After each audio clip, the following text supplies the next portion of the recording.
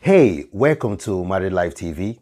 My name is Chinda Chinda, and I help couples to discover and maximize their unique personality differences in their marriage, to enable them to navigate through all marital challenges, and to build a loving, satisfying, and fulfilling marriage. I've been married for the past 10 years. And one of the things I've discovered, also from my coaching sections, is that no marriage is the same. And each of the parties that make up the marriage are not the same. They all come with their different, unique personalities. Even though there could be compatible traits, some common grounds, but no marriage is the same and no individual is the same. And that is why it's important to invest in your differences.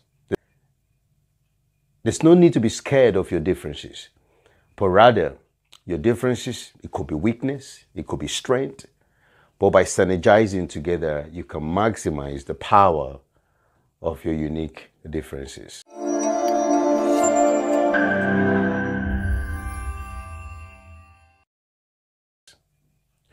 Today, I'll be talking about how to stop the blame game.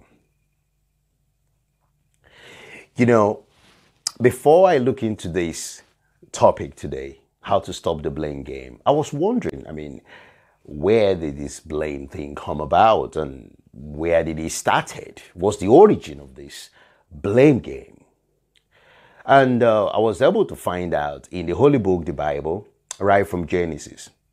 You know, God gave instruction to Adam and Eve not to eat a particular fruit, right the midst of the garden. And however, the woman were beguiled by the serpent, as we're told in Genesis, and she ate.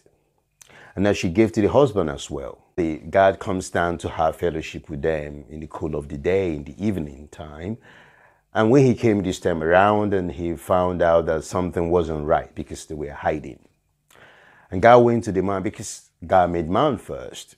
And he said, What happened? Were you hiding? Where are you? And the man said, The woman you gave me. Now that was the beginning of the blame game from the Holy Book. So he blamed the woman. Well, for some reason, I don't I don't get it. Because you know, you were supposed to guide and support, you were supposed to lead, you were supposed to make sure that she's she's all right, she's being cared for.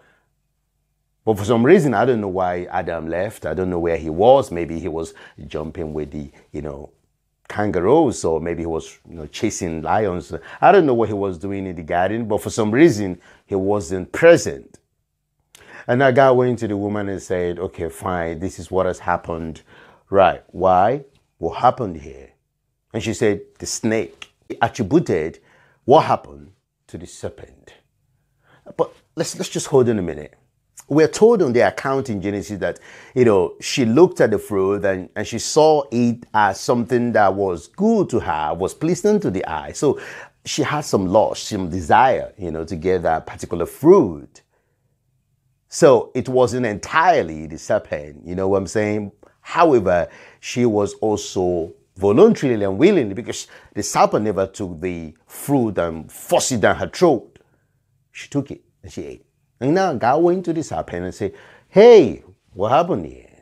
Well, unfortunately, this serpent not have anyone to blame. So, yeah, because if he has someone to blame, I don't know. Maybe he blames someone else. I have no clue. But for some reason, we're not giving any account that he has something to blame. So, humans love to blame.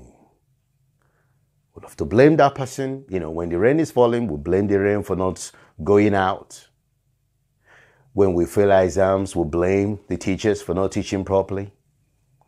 And we have financial challenges, we blame the government, we blame, you know, different things. So this blame game has started for a very, very long time. That takes me to what is the blame game? Well, let's, let's, let's define this word blame really. Blame is the feeling and the declaration that something or someone is responsible for a fault or a wrong.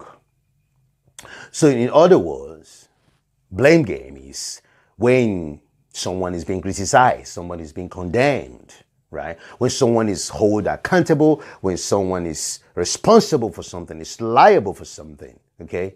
And in the process, I call this, you know, the accusation game, you know what I'm saying? The criticizing game, the condemnation game, the guilt attribution game, you know, the fault attribution game, you know, the suppression game, the putting down kind of game. And this thing happens in marriages. And it's unfortunate that many couples, some of them are in the edge of falling off from their marriage vows because of blaming one another. You know, when any misfortune happen, and this is when does it happen? When any misfortune happen, when something there's an issue, there's a problem, something isn't working right, then blame someone else. Now, uh, you might be watching this and you have suffered a lot of blame. Maybe you are being blamed even right now for everything in your marriage. I would really, really encourage you to share this video with your spouse indirectly so they can watch.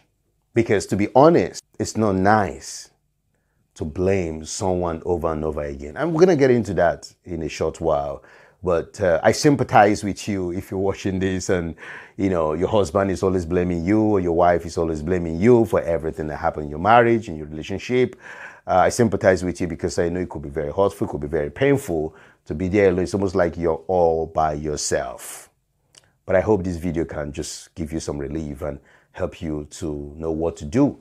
And if you're watching this and you are someone that blames a lot, you're someone that points fingers a lot about everything that happens, you know, I would really request humbly that you change and start thinking differently because you're just hurting someone else. Is that okay? All right, okay. Let's go now. So, we have seen that it happens when things are not just normal, things are not happening the way we've planned. And if I say some of the examples of this is like, let's say for instance, the man want to go to work and in the UK now it's winter and it is all the leaves are all down and uh, maybe he just tried to walk down the path and he tripped. And then he comes back and say, I told you to sweep this every morning and you haven't. Now because of you, I slept. I almost broke my ankle. And blames the woman.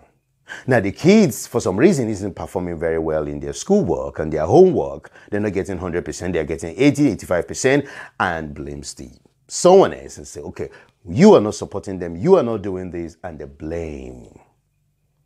Or maybe you were in the kitchen. For some reason, there's some multitasking activities going on, and you know, you ask for help for somebody to, you know, come down and just support you to put in the laundry into the washing machine but that never happened. So the meal got burnt in the pan. Well, I have to blame someone. Uh, maybe you're married and uh, for some reason, you know, you've been looking for a baby and uh, the baby isn't coming yet. And you've tried several things, you've gone to the doctor. And when anything happened that is a bit awkward that could relate you to that situation, you said, it's your fault. It's your fault. Something is wrong with you. But you've gone together, you've checked, there's nothing wrong. So, and you keep blaming this person why they can't be pregnant, why they can get you pregnant, and all that. And you keep blame and blame and blame and blame. So there's so many scenarios that blame is happening all the time. But it's important for you to understand that when you keep blaming someone like this, it causes a lot of pain. And that's what we're going to look at in a short while. Now, why do you blame your spouse? That's another important thing. You know, if you are blaming somebody else for everything that happens in the marriage, in the relationship, at any time, at any place, you're blaming. Number one, I feel that you are blaming them because you want to prove that you're right and he or she is wrong. Huh. So you want to feel like you're the one that knows everything. You want to feel like the mini God. You want to feel like I'm just, I can never make mistakes. And another reason that oh, why you blame your spouse is because revenge. Maybe your spouse been saying something, or it's because of you this happened and all that. And now, when something has happened, you use the opportunity to blame them back and really bash them with a lot of criticism and condemnation and suppression and everything. You just give them everything back. And another time is because you're egocentric, you're humble. You just want to feel like you are all knowing, that you are the perfectionist you never make mistakes. You are just someone that knows everything. So your ego and pride will not even let you admit that you were wrong. So you keep apportioning and attributing everything against your spouse. Now, when you do that constantly, what happens when you constantly blame your spouse? Obviously, something happens. That's the fact. I mean, you, you might be watching me right now and you're the one that is receiving all the blame. I mean, there's no way you're not going to feel, number one, isolated, withdrawn from him or her that is constantly bashing you with blame about everything. And this is where you disconnect. This is where, you know, connection is severed. And it's not just the withdrawal and the isolation that will start happening. Loneliness can come in. I mean, could you imagine? Two people are together, they are married, but somebody in the relationship is lonely. And sometimes it's not just one person. The other person could be lonely as well because this person don't want to interact with this person. And then what happens? It's inviting more trouble into the relationship. So when they withdraw, that's, that's not nice. And then the next thing again that could happen is anger bitterness, frustration, resentment. This thing can build up malice. It can build up, they can speak to one another. They don't communicate anymore.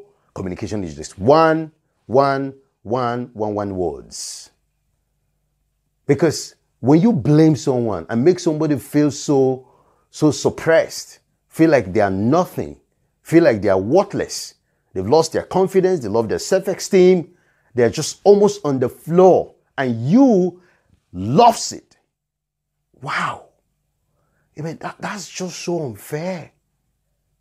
Because, you know, one of the things I've realized, I mean, you could do your research, you know, I'm, I'm, I'm a coach myself, and and extensively I've also read, and I've realized, even based on research, that for some reason I'm not saying this is particularly uh, the same everywhere. It could vary based on different factors. But a lot of times the, the women are, you know, being bashed with blames. A lot of times. I don't know, for some reason, sometimes the guys, we feel that, you know, we know it all. And I know the guys have this, you know, ego something, ego whatever they think they have. And because the woman could be soft and tender and may not be able to, you know, put her shoulder up all the time, and everything that happens, the woman just takes the blame. About the kids, they take the blame. The food, they take the blame. The house, they take the blame. You know, financial problem in the family, they take the blame. They couldn't travel, they, they take the blame. You know, they couldn't go on holiday, they take the blame. You know, they couldn't go grocery, they take the blame. There was no milk for tea, they take the blame. Everything, they just keep blaming them. You know, and if you're listening to me as a woman, I, I'm sorry. You know, I feel really sad that, you know, you're going through what you're going through. And I'm praying that you will send this video to, to, to your husband for him to kind of wake up. And if you're the husband that is also being bashed constantly with blame for everything, you know, send this to your wife as well. So that probably, you know, but if you can learn something out of this video and start thinking differently and see how you can support one another going forward. And now one of the most dangerous things that happens when you continue to blame is it leads to separation and sometimes divorce. Because the person cannot take this anymore. They will be looking at the other person as, you know, I can't just meet up with this person's high, whatever perfectionist characteristics. And they will just say, you know what? I can't deal with this anymore. There's always a massive consequences if you don't do something about, you know, constantly bashing your spouse with blame. You need to know that there's no point focusing on just one person when anything happens because you can't solve the problem. The problem will continue to persist. And sometimes the other spouse that is always giving out and dishing out this blame, they forget that when problems are shared and they are mutually worked on, it gives satisfaction, it gives joy. I mean, when you were single and you got married to this man, to this woman, you're getting married because you believe that both of you can resolve issues, you can work together.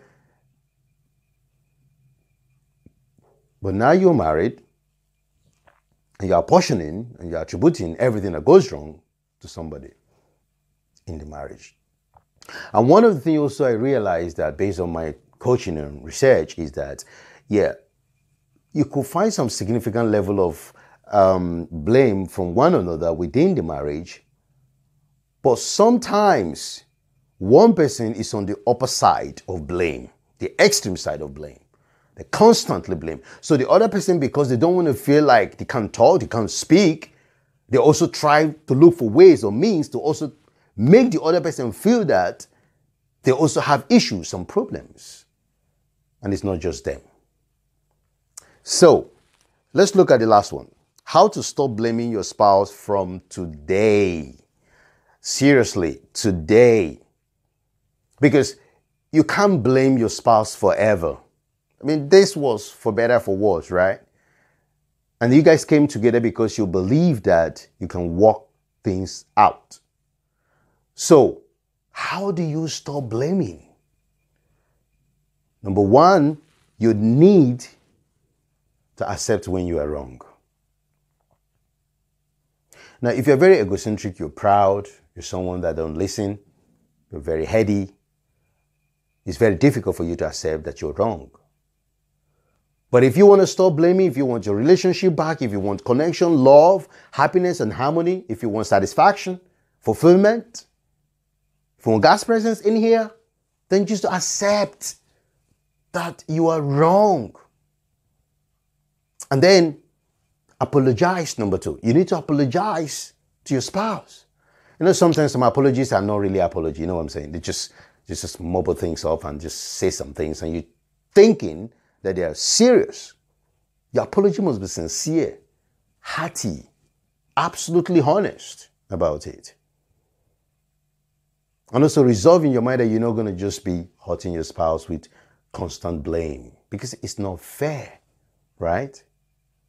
And now you that is being uh, blamed for everything, it should be nice for you to forgive. When, when your spouse sincerely comes to you, it would be nice to just let go and move on. Because your peace is important, your happiness is important, your internal calmness is important if you want to survive and enjoy your marriage, if you don't want it to go down the failure route. And then what do you do? Both of you should understand that you are on the same team regardless of whatever is the challenges or the difficulties, regardless of whatever is happening in your marriage, problems solved together bonds you together, strengthens your marriage, gives you this sense of satisfaction that you're actually working together for a common goal overall. So that is why it's important for you to ensure that you work together and be open in your communication and be honest and do things and act so that this blame thing, because it's, it's been around for, for ages.